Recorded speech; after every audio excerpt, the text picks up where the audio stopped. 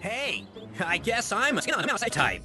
Onix types are very, very, very, very hardworking and very detail-oriented. That sounds exactly like you, Brock, don't you think? I'ma fuck your bitch, nigga. I'ma fuck your. If I'm an Onix type personality and I have an Onix, that must mean fucking Willie dick out and he pissed on my fucking wife and he said